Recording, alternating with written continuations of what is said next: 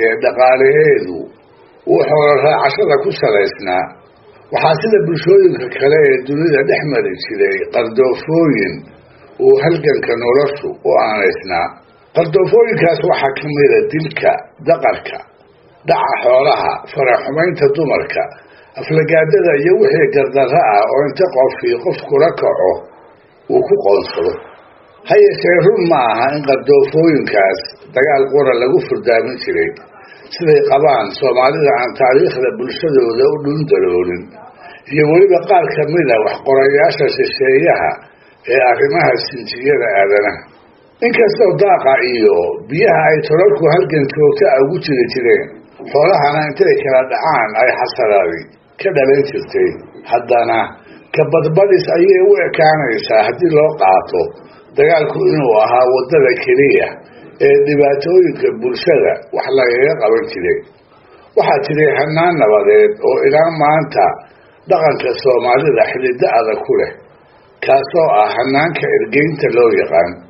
Qayb ahaan waa hanaan u eg waxa maanta diblomaasiyadda loogu yeero ee xidhiirka qaramada casriga ah saldhigga u ah.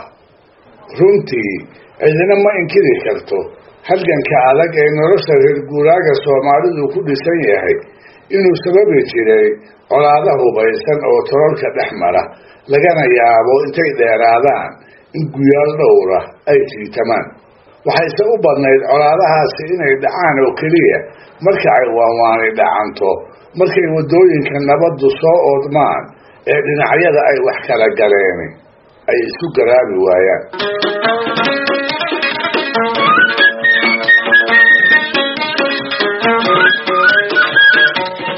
siday xeerar uga lahaayeen guurka iyo arrimaha kale ee isdhexgalka bulshada ka dhasha. Ayay soomaalidii hore xeerar uga lahayd colaadaha iyo dhibaatooyinka kolba dhex mara sidii looga xaali lahaa.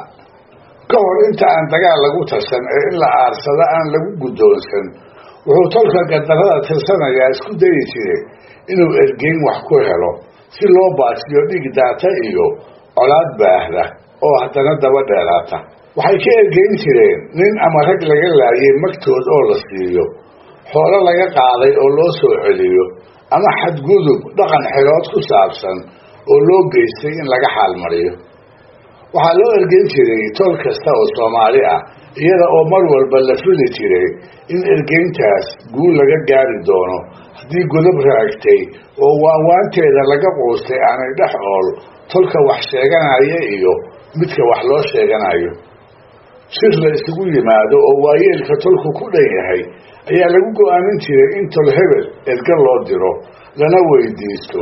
Xaqa ay ku sheeganayaan inay gudaan. Ergada la dirayaase deero ka halqaad ma ahayne. Waxay ka goobnaan jirtay rag la miiray magacyo waaweyn leh doodyaqaan wada ah. Aada ugu dhuun daloola xeerarka tolalka darisyada ah u yaal. Taariikhda labada qolo ee wax kala galeenna in badan ka og. Haddii aan la waayin waxaa ergada inta badan madax looga dhigi jiray amaba la raacin jiray gabyaa magac weyn leh. Nin reerka wax loo sheeganayo gabaya ku beerdulcsan kara dood iyo dacwina wax kaga soo coshan kara. Raggaas xulka ah markii la sooco ayaa lala ballami jiray qodob qodob ayaa loo xusuusin jiray. Xaqa ay reer hebel ka doonayaani waxa uu yahay. Inta uu tiro la eg yahay iyo waxaa haddii looga ogolaado ay la soo noqon karaan. Ergadu waxay wakiil ka tahay. Tolka ay u dhasheen ee dirsaday waxayna doontaa xaq ka wada maqan oo soo celintiisa lagu aaminay badanaa go'aan aan la isku ogeyn ma qaadato. Sidaa darteed waxay soomaalidu ku mahmaahdaa. Ergo wixii la farana waa geysaa wixii la siiyana waa cuntaa haddii kolka wixii ay sheeganayeen aan la wada siina qaar looga ogolaado. Ergadu waxay ula noqon jirtay ciddii soo dirsatay ee ay ka dhasheen. Shirka lagu wada dhan yahay ee tolweynaha ayay arrinta ku soo bandhigi jireen. Si goobtaas looga go'aamiyo wixii ay ergadu la soo noqotay wixii laga yeeli lahaa kolba wixii guddoona oo halkaas lagu gooyo ayay mar labaad ergadu kula noqon jirtay. Tolkii wax loo sheeganayay iyo waayeeladiisa.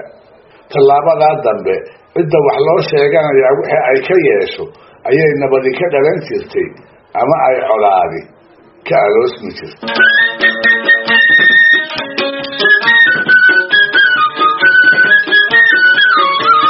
xubin ahaan iyo wadar ahaanba hawsha ergadu waxay ahayd qaanta ay ku raad joogaan oo ama mag ah amaba hanti kale ah oo in la soo siiyo ay doonayaan inay si wacan u sheegtaano gaftooda oo aan daldalool lahayn ay ka soo jeediyaan sirka tolka ay u ergeynayaan. Taas iyada oo maskaxda lagu hayo ayaa waxaa jiray tilmaamo xubnaha ergada lagu dooran jiray. Tilmaamo ay ugu weynayd oo adkaysiga dhibaatooyinka kala soo gudboonaan kara hawsha ay u socdaan marmarka qaarkood waxaa dhici jirtay ergada in la aflagaadeeyo in la qadiyo oo aan dhowr aqoolood xoolaha loo gelin iyo in wadaxaajoodka lagu raajiyo si ay inta u daaraan u caroodaanoo iyaga oo faramaran ay cidahoodii isaga noqdaan. Dhibahaas oo kale inay dhici karaan iyada oo la garowsan yahay ayaa ergada loo soo cesiray rag ad adag oo ku tilmaaman dulqaad dheeraada xag ooga iyo dabeecad labadaba murti caana oo ay soomaalidii hore dulqaadka ergada ku tilmaantay ayaa waxay ahayd erge waxaa loo dirsadaa nin kudkude gaajo uga adkaysi badan dhagax qorax uga adkaysi badan doofaar cay uga adkaysi badan kurtunna dhaxan uga adkaysi badan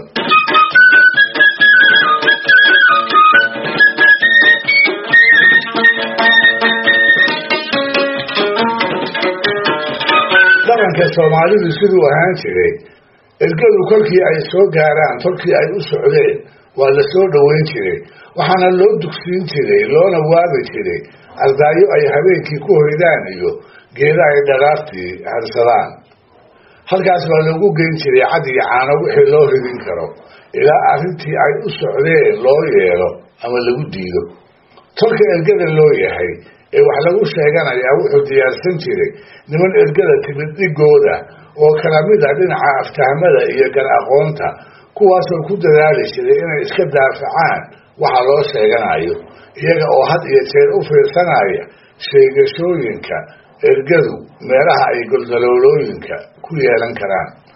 Haddii kolka ay diblomaasiyaddu tahay awoodda ah in labada dhinac ee wax ka dhexeeyaani ay si qabow u wada xaajoodaan sidaasna is-afgarawaaga jira ay ku furdaamiyaan.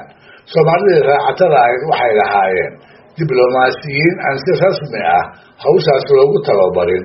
Ha yeeshee uu baray qaabka nolosha dagaankooda sidaas darteed baa shaqadii loo igman jiray ergadii soomaaliyeed loogu ekaysiin karaa amaba loogu magacaabi karaa diblomaasiyadda reer guuraaga.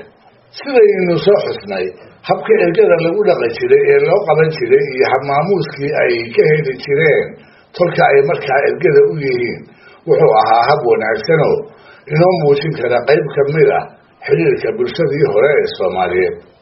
Iyada oo labada dhinac aanu midna si fudud danihiisa uga tanaasulayn ayaa haddana reerka martida loo yahay laga fili jiray. Ergadu inta ay la joogto inay xurmo u muujiyaan sidaas ayuu dhaqanku ahaa. Ha yeeshee marmarka qaarkood ayay dhici jirtay in ergada la xumeeyo oo hadal ama falal kale oo quursi leh lagula kaco amaba xataa la laayo. Taasina waxay reebi jirtay utun aan harin iyo colaad ba'an oo kaba daraata tii markii hore ergada keentay. Dhegaystayaal barnaamijkii dhaqanka iyo hiduhu maanta halkaa inoo joogo waa inoo barnaamij kale haddii eebba idmo iyo toddobaadka soo socda